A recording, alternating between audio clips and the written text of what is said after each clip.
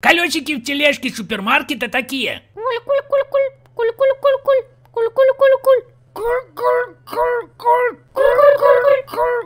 А я-то думаю, что там вечно кулькукает? Нормальные колеса подобрать не могли, а то одни головы повесили.